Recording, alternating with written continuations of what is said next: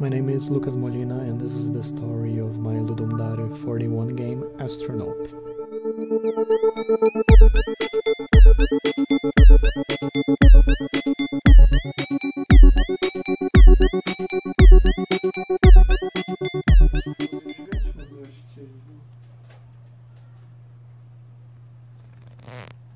Sabe qual é o formato que ele faz vídeo?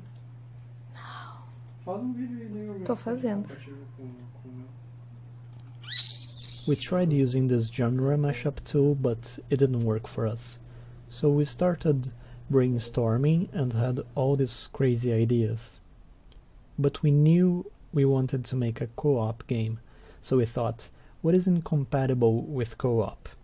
And that's how we came up with a competitive single-player co-op game.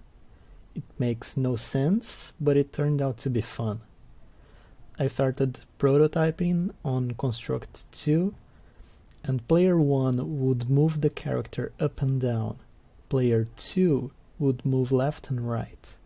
Each player had a different goal, an object they had to reach. At first it wasn't fun at all, but we figured it out. When we put the goals together and made them move, the game was fun.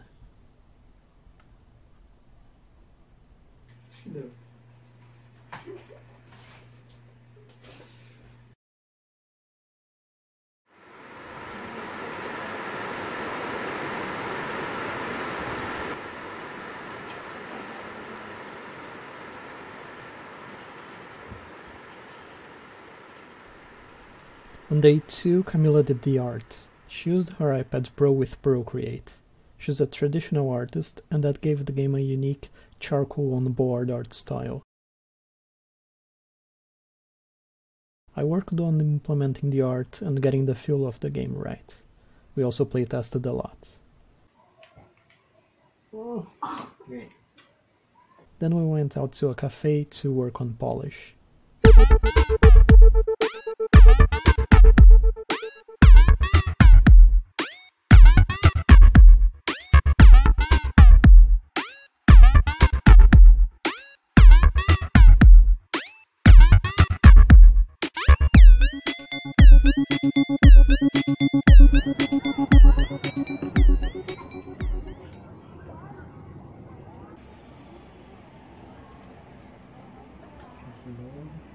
Ele vai ter uma tela?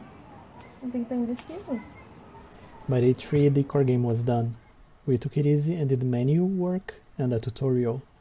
We also recorded some sounds. Um, dois, três. Uhul!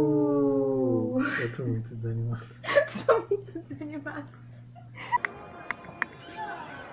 Não, não, não, não, não, não, não, não, não, não.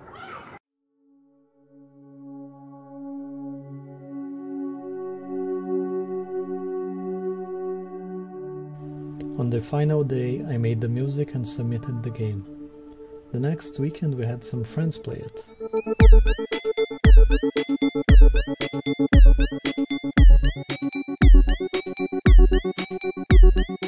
And that's all. I hope you enjoyed this video. I'm releasing this on the final day of voting, so there's still time to play and rate Astronope.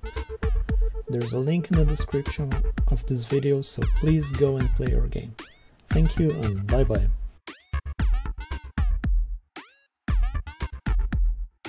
E a pessoa antropomórfica. E tipo, daí aí que ele ficava com essa cara assim o tempo todo e ele anda abrindo e fechando as portas.